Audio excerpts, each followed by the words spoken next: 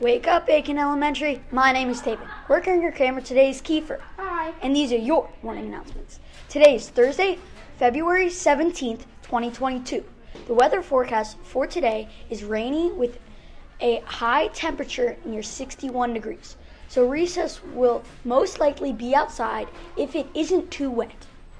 For lunch at Aiken, our choices are a hot dog, a ham and cheese sandwich, a turkey and cheese sandwich, yogurt parfait, or a peanut butter and jelly.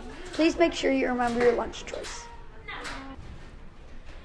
Mr. Thomas would like to encourage all Aiken students to soar new heights today by having self control, staying on task, always being kind, and being respectful and responsible.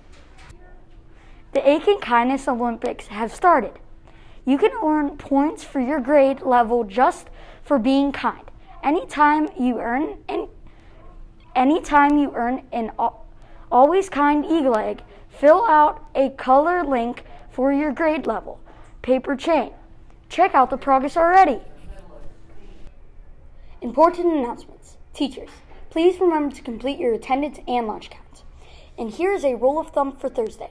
Obey your parents and help the household help with the household chores. If you could please stand and join us for the Pledge of Allegiance.